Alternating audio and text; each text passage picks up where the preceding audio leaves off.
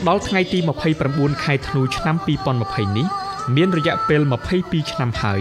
ដែលកម្ពុជារកបាននូវសុខសន្តិភាពពេញលេញនិងមានឯកភាពជាតិទាំងស្រុងជាប្រវត្តិសាស្ត្របន្ទាប់ពីបានបែកបាក់តាំងពីក្រោយចក្រភពអង្គរការបិទបញ្ចប់សង្គ្រាមហែកហួរនិងការបែកបាក់ជាតិនេះបានកើតមានឡើងតាមរយៈនយោបាយឈ្នះឈ្នះរបស់សម្ដេចតេជោហ៊ុនសែនការបញ្ចប់សង្គ្រាមដោយនយោបាយឈ្នះឈ្នះ គឺជាទស្សនវិជ្ជាសន្តិភាព និងមានការបដិញ្ញាចិត្តខាងនយោបាយដ៏មុតមមរបស់សម្ដេចតេជោហ៊ុនសែននាយករដ្ឋមន្ត្រីនៃព្រះរាជាណាចក្រកម្ពុជានៅក្នុងដំណើរនៃការអនុវត្តការបញ្ចប់សង្គ្រាមទាមទារនៅការដឹកនាំដែលប្រកបដោយទេពកោសល្យខ្ពស់និងមានលក្ខណៈវិទ្យាសាស្ត្ររួមជាមួយគ្នាព្រោះព្រឹត្តិការណ៍មានការប្រែប្រួលយ៉ាងលឿនបំផុតនយោបាយឈ្នះឈ្នះនៅកម្ពុជា មានន័យយ៉ាងទូលំទូលាយ ដោយគ្របដណ្ដប់លើវិស័យនៃសង្គមជាតិទាំងមូលគេមើលឃើញថានយោបាយឈ្នះឈ្នះគឺជាយុទ្ធសាស្ត្រគោលទាំងឡាយណាដែលនឹងនាំមកនៅការធានាដល់សន្តិសុខសង្គមការបង្រួបបង្រួមជាតិឯកភាពជាតិសន្តិភាព ការធានាដល់បូរណភាពដែនដីអធិបតេយ្យនិងការអភិវឌ្ឍសេដ្ឋកិច្ចនយោបាយសង្គមប្រកបដោយចីរភាពស្ទើរតែគ្រប់វេទិកាសាធារណៈសម្ដេចតេជោនាយករដ្ឋមន្ត្រី តែងតែបានថ្លែងរំលឹកអំពីគោលនយោបាយឈ្នះឈ្នះដើម្បីបញ្ចប់សង្គ្រាមស៊ីវិលទាំងស្រុងនៅកម្ពុជា ជាពិសេសបញ្ចប់សកម្មភាពយោធារបស់ប៉ុលពតដើម្បីឲ្យពួកគេបានវិលត្រឡប់ចូលមករួមរស់នៅក្នុងសង្គមជាតិវិញ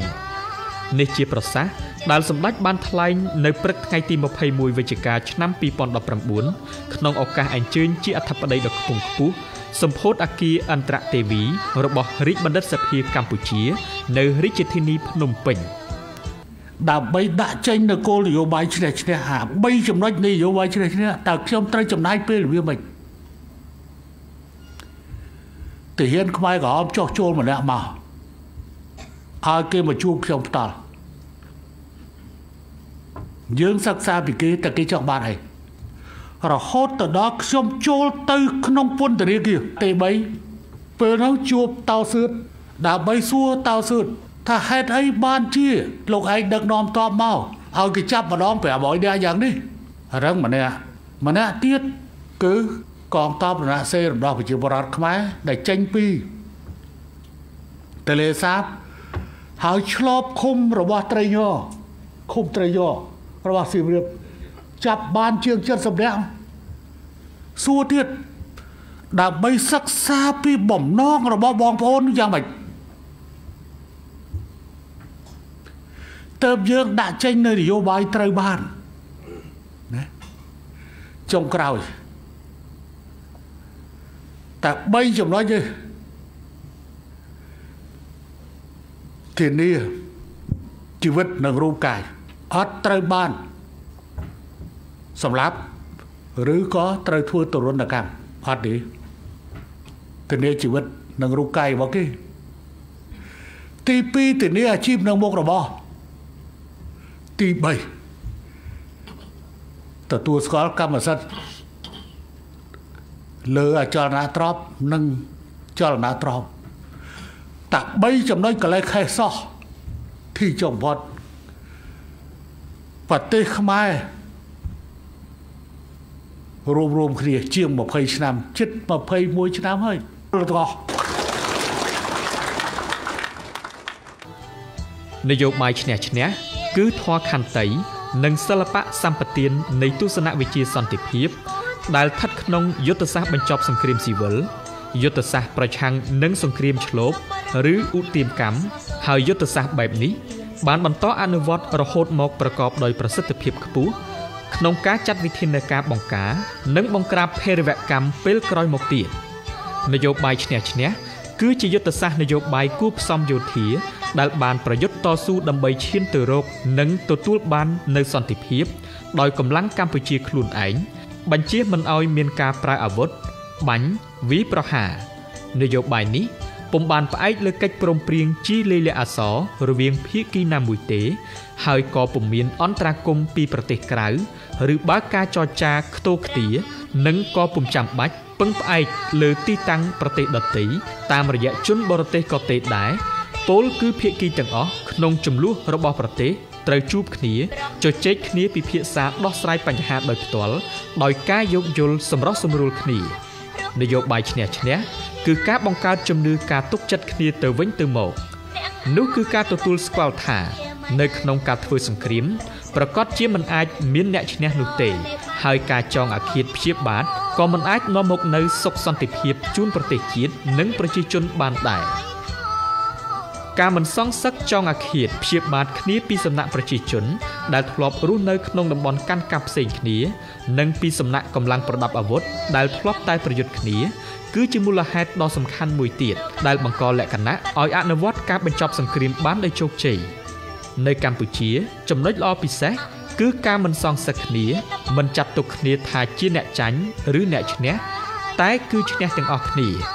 សន្តិភាព និងការបង្រួបបង្រួមជាតិគឺសម្រាប់ទាំងអស់គ្នាដូច្នេះហើយបានជាព្រំដែនផ្ទៃក្នុងរវាងតំបន់មួយទៅតំបន់មួយទៀតត្រូវបានរំលាយចោលប្រជាជនអាចទៅមករកគ្នាបានដោយសេរី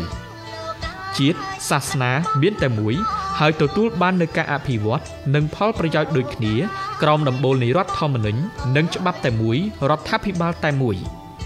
កម្លាំងប្រដាប់អាវុធដែលធ្លាប់តែច្បាំងគ្នាក៏បានវិលមករស់នៅជាមួយគ្នាដោយគ្មានការបែងចែកឬរើសអើងដែលបានរស់នៅក្នុងឯកសន្តាន និងទឹកចិត្តស្នេហាជាតិស្នេហាប្រជាជនដូចគ្នានយោបាយឈ្នះឈ្នះគឺការបំបត្តិការរើសអើងខាងជាតិសាសន៍និងសាសនា ហើយប្រែក្លាយសង្គមឲ្យចេញផុតពីសង្គ្រាម ដើម្បីមានសន្តិភាពឲ្យសាមគ្គីភាពរួបរวมគ្នាអភិវឌ្ឍជាតិក្នុងរូបភាពមានសេរីភាពពេញលេញដោយមានមូលដ្ឋានជំនឿរៀងរៀងខ្លួន ទាំងពុទ្ធសាសនាគ្រិស្តសាសនាក៏ដូចជាសាសនាអ៊ីស្លាមចំនួនបន្តវេនបានប្រើម្រាមដៃរៀនសរសេររៀនប្រើកុំព្យូទ័រជំនួសការប្រើម្រាមដៃកេះកៃកំភ្លើង ប្រទេសកម្ពុជា បានផ្លាស់ប្ដូរពីការកាប់សម្លាប់គ្នា ទៅជាការជួយគ្នាទៅវិញទៅមក ពីការបំផ្លាញទៅជាការកសាង ពីការភ័យខ្លាចទៅជាការសប្បាយពីការបែកបាក់គ្នា ទៅជាការបង្រួបបង្រួមគ្នានយោបាយឈ្នះឈ្នះគឺជាការបើកទ្វារអភិវឌ្ឍអតីតតំបន់ដែលធ្លាប់បែងចែកការគ្រប់គ្រងគ្នានិងតំបន់ដាច់ស្រយាលឲ្យជឿនលឿនដោយមានការអភិវឌ្ឍលើគ្រប់វិស័យផ្សារភ្ជាប់ទីប្រជុំជនខេត្តក្រុងនានា ជាពិសេសមករាជធានីភ្នំពេញបេះដូងនៃព្រះរាជាណាចក្រកម្ពុជាតែមួយ តាមរយៈវិធានការនិងគោលនយោបាយសំខាន់សំខាន់ដើម្បីភ្ជាប់គម្លាតពីជនបទមកទីក្រុង ហើយទទួលបានវប្បធម៌សេដ្ឋកិច្ចដោយសមធម៌នយោបាយឈ្នះឈ្នះគឺជាការផ្ដល់នូវយុត្តិធម៌សម្រាប់សង្គមក្រោយពីការរក្សាឲ្យបាននូវសុវត្ថិភាព និងសន្តិភាព គេសង្កេតឃើញថាតាមសភាពការជាក់ស្ដែងនៅក្នុងសង្គមមួយបើគ្មានសន្តិភាពទេ ហើយអំពើហិង្សាឬចំនួននៅតែមាននោះយុត្តិធម៌និងប្រជាធិបតេយ្យក៏ជួបការស្មុគស្មាញដើម្បីប្រតិបត្តិនៅក្នុងសង្គមមួយនោះដែររាជរដ្ឋាភិបាលកម្ពុជាពុំបានរំលងបញ្ហាយុត្តិធម៌ទេ វិចារណញ្ញាណនិងសិលធម៌មិនអនុញ្ញាតឲ្យអំពើឧក្រិដ្ឋប្រឡាយពូជសាសន៍ ដែលបានប្រព្រឹត្តមកលើប្រជាជនកម្ពុជា ក្នុងរយៈពេលគ្រប់គ្រងរបស់ពួកមេខ្មែរក្រហម ពីឆ្នាំ1975ដល់1979កន្លងផុតទៅ ដោយគ្មានអ្នកទទួលខុសត្រូវឡើយមេខ្លងកំពូលកំពូលនៃបទឧក្រិដ្ឋនេះត្រូវតែទទួលខុសត្រូវនៅចំពោះមុខច្បាប់ជាតិអន្តរជាតិនិងប្រជាជននេះគឺជាការទៀមទានៃកតិយុត្តិធម៌ដែលជាការប្រមានយ៉ាងមានប្រសិទ្ធភាព ចំពោះអ្នកដឹកនាំដទៃទៀតដែលមានភារកិច្ចទទួលខុសត្រូវលើជោគវាសនារបស់ប្រទេសជាតិនិងប្រជាជននាពេលអនាគតក្នុងស្មារតីនេះរាជរដ្ឋាភិបាលកម្ពុជា បានបដិញ្ញាបន្តជំរុញកិច្ចដំណើរការកាត់ទោសមេដឹកនាំកម្ពុជាកម្ពុជានៃរបបខ្មែរក្រហមឲ្យប្រព្រឹត្តទៅដល់ទីបញ្ចប់ប្រកបដោយជោគជ័យនិយមន័យមួយទៀតនយោបាយឈ្នះឈ្នះគឺការបើកផ្លូវឲ្យមនុស្សមានការជ្រើសរើស មានក្តីសង្ឃឹមគឺជាឧត្តមភាពពិសេសនៃការសម្រេចចិត្តមករួមរស់ក្នុងសង្គមជាតិដើម្បីកសាងសន្តិភាព និងអភិវឌ្ឍជាតិដោយអ្នកតាក់តែងគោលនយោបាយបច្ចុប្បន្នបានយល់ឃើញដោយឯកភាពគ្នាថានៅក្នុងសន្តិភាពនៃពិភពលោកថ្មីនេះខ្សែបន្ទាត់រវាងសន្តិភាពនិងសង្គ្រាម គឺស្រពេចស្រពិលនិងមិនច្បាស់លាស់សម្រាប់ការបញ្ចប់សង្គ្រាម គឺទាំងអស់គ្នាត្រូវបញ្ឈប់ការប្រយុទ្ធដោយស្ម័គ្រចិត្ត ហើយដាក់ក្តីសង្ឃឹមចំពោះអនាគតក្នុងសង្គមនយោបាយឈ្នះឈ្នះគឺការបង្កើតឡើងនៅទស្សនៈជាតិនិយមត្រឹមត្រូវមួយដោយសារការរួបរวมបន្ទាប់ពីចំនួនជាតិឯងអំពីទស្សនៈជាតិនិយមនេះ មានច្រើនបែបដូចជាទស្សនៈជាតិនិយមចង្អៀតចង្អល់ឬជាតិនិយមជ្រុលដោយដែលរបបកម្ពុជាប្រជាធិបតេយ្យបានអនុវត្តកន្លងមក ដែលធ្វើឲ្យមានការបែងចែករើសអើង រហូតដល់ការបោសសម្អាតផ្ទៃក្នុងជាតិតាមរយៈការកាប់សម្លាប់ជនជាតិឯងនិងបណ្ដោះគំនិតអរិភាពប្រឆាំងជាមួយប្រទេសជិតខាងជាដើមចំពោះទស្សនៈជាតិនិយមត្រឹមត្រូវគឺជាភាពចាស់ទុំខាងនយោបាយនិងការដឹកនាំត្រឹមត្រូវតាមផ្លូវច្បាប់នយោបាយឈ្នះឈ្នះជាការបង្កលក្ខណៈនិងបើកឱកាសឲ្យកងយុទ្ធពលខេមរៈភូមិន្ទអាចរៀបចំខ្លួនជាអង្គភាពមានវិជ្ជាជីវៈច្បាស់លាស់ថែមទៀតក្នុងកិច្ចការការពារ និងកសាងមាតុភូមិកម្ពុជា ជាពិសេសការបំពេញភារកិច្ចក្នុងវិស័យអំណាចទុន